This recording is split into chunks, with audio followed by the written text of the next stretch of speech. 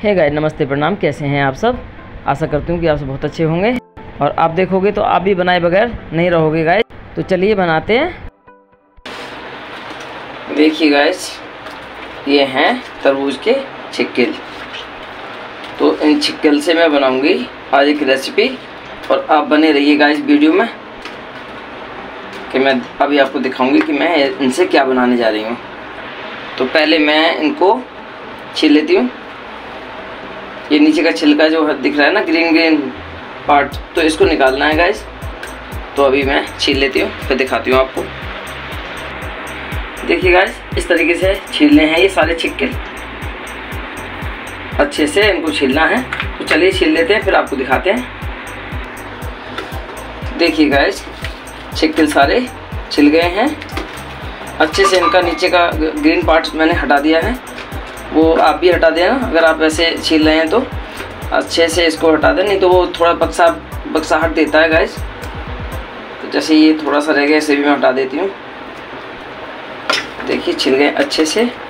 अब इनको क्या करना है, या तो आप छोटे छोटे टुकड़े करके गैस इनको आप मिक्सी में पीस सकते हैं।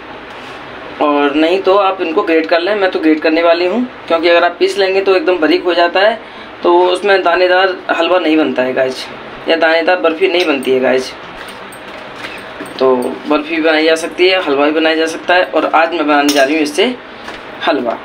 तो मैं इसे कर रही हूँ ग्रेट तो देखिए, मैंने ये ले लिया है मैं करूँगी मीडियम से ग्रेट चलिए गाइस ग्रेट करते हैं, फिर आपको दिखाते हैं। देखिए गाइस इस तरीके से मैं ऐसे ग्रेट कर रही हूँ।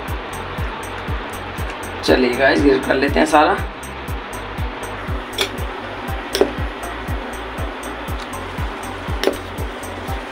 ग्रेट हो गया है गैस और अब मैंने रख दिया कढ़ाई. और कढ़ाई में गैस इसे डाल देते हैं. क्योंकि इसमें पानी ज़्यादा होता है गैस इस वजह से ये मैंने अभी ग्रेट करके रख दिया तो इसमें पानी आपको दिख रहा होगा. तरबूज के छिल चिकलों में, यानी तरबूज छिक्कल में और तरबूज में पानी की अधिक मात्रा होती है तो इस वजह से इसमें पानी आपको दिख रहा है. इसे ही सुखाना है गाइस तो मैंने कर लिया है मीडियम हाई फ्लेम।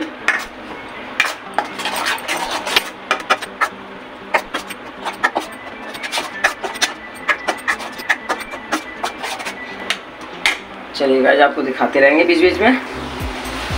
देखिए गाइस पानी बिल्कुल सूख गया है और मैंने ग्रेट किया है इसलिए दानेदार आपको दिख रहा है। मैंने अभी इसमें कुछ भी और एस, कुछ भी इसमें ऐड नहीं किया है। तो गाइस अब डाल देते हैं ये शुगर और मैंने ले लिया ये लगभग 100 ग्राम शुगर है। आप अगर मीठा ज़्यादा खाते हैं या कम खाते हैं, उसके हिसाब से आप कम ज़्यादा कर सकते हैं।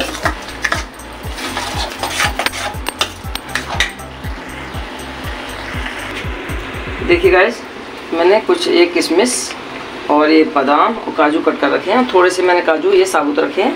देखिए, दो दो पीस करके। अब इनको मैं पहले तो फ्राई कर लूँगी रोस्ट कर लूँगी मतलब। तो चलिए करते हैं रोस्ट। इधर बन रहा है हमारा हलवा। दूसरे गैस पे मैंने रख दिया है। दोनों साथ साथ मैनेज करते हैं। देखिए गाइस घी मैंने देसी लगा दिया है पैन में। और अब इसमें गैस ऑन करते हैं।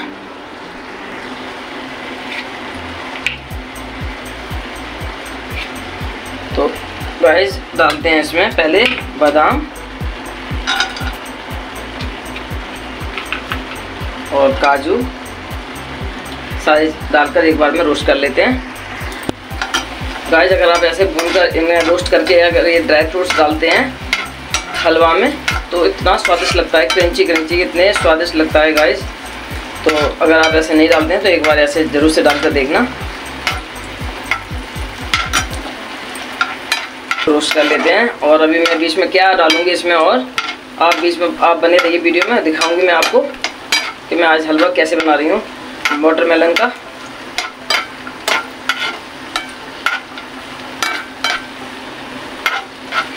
चलिए गाइस रोस्ट करते हैं, फिर दिखाते हैं आपको। गाइस अब ये डाल देते हैं किशमिश। इन्हें बाद में डालें गाइस क्योंकि इनको ज़्यादा रोस्ट करने की ज़रूरत नहीं होती है। इनको वो हल्का सा रोस्ट करना होता है। बाकी सब रोस्ट हो गए हैं। देखिए गाइस ड्राई फ्रूट्स हमने निकाल लिए हैं, रोस्ट हो गए हैं। और अब गाइस मैं इसमें डालती हूँ, ये दो चम्मच बेसन है। इसे भून लूँगी मैं। और इसी टाइम डालूँगी गाइस मैं ये दो चम्मच सूजी।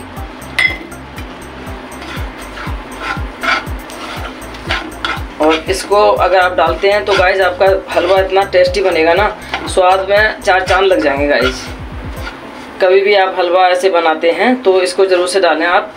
अगर आप सूजी नहीं है, बेसन नहीं है तो सूजी नहीं है तो बेसन डालें। अगर बेसन नहीं है तो सूजी ज़रूर से डालें। बेसन डालने से भी स्वाद बहुत अच्छा आता है गाइस तो अगर दोनों ही चीज़ डालते हैं तो दानेदार बनेगा हलवा आपका। बहुत ही सुंदर, बहुत ही खुशबू वाला। लजीज। तो चलिए गाइज़ रोस्ट कर लेते हैं, फिर मिलते हैं आपसे। देखिए गाइज़ सूजी और बेसन हमारा भुन गया है और इसमें बहुत अच्छी खुशबू आ रही है। बस इसे उतार लेते हैं। और इसे मैं डाल देती हूँ इसमें। जो वाटरमेलन चिकेल का जो हलवा है, इसमें डाल देते हैं। गाइस अब इसे कर देते हैं इसमें मिक्स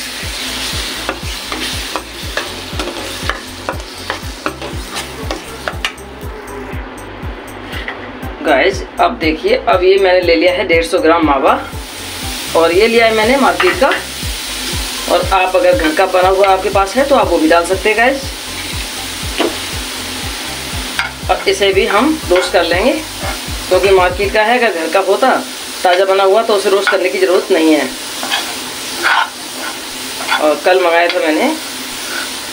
अगर ताज़ा ताज़ा मंगाओ, तब भी ये मार्केट का है तो इसे रोस्ट करना ज़रूरी होता है गाइज़ चलिए गाइज़ रोस्ट कर लेते हैं इसे। फिर आपसे मिलते हैं। गाइज़ मावा हो गया ठंडा, अब इसे डाल देते हैं। और अब कर लेते हैं इसमें मिक्स गाइस हलवा बनकर रेडी है। और अब डाल देते हैं एक मेन इंग्रेडिएंट्स है। ये है हरी इलायची पाउडर इसे बहुत ज़रूरी है डालना गाइस और अगर आप पसंद नहीं करते हैं तो आप इसकी जगह केसर भी डाल सकते हैं गाइस या गुलाब जल की कुछ छींटे डाल सकते हैं। और ये हरी इलायची का पाउडर इसमें बहुत ही अच्छी खुशबू देता है। बहुत ही अमेजिंग स्वाद बढ़ जाता है गाइस तो चलिए गाइस मिक्स करके अभी आपको सर्व करके मैं दिखाती हूँ। गाइस अब डाल देते हैं ड्राई फ्रूट्स चलिए अब इन्हें भी डाल देते हैं। देखिए गाइस बताइए आपको ये हलवा कैसा लग रहा है? देखिए, लग रहा है ना बड़ा टेम्पटिंग इतना स्वादिष्ट कि बस मन कर रहा है, अभी चाय बनाओ, चाय के साथ इसे सर्व करके और खाओ। तो गाइस आ जाइए आप लोग भी। और बहुत ही अमेजिंग हो रहा है गाइस भगवान जी का भोग लगा के। और सब लोग खाएँगे फिर। और गाइज़ इस रेसिपी को ज़रूर से ट्राई करना। देखिए गाइज़ बताइए वाटरमेलन की चिक्किल से बनाया हुआ हलवा आपको कैसा लग रहा है गाइज़ गाइज़ इतना स्वादिष्ट लग रहा है देखने से ही कि बस मन भर के खा जाओ। गाइज़ इस रेसिपी को ज़रूर से ट्राई करना, बहुत ही टेस्टी और बहुत ही अमेजिंग ये रेसिपी है।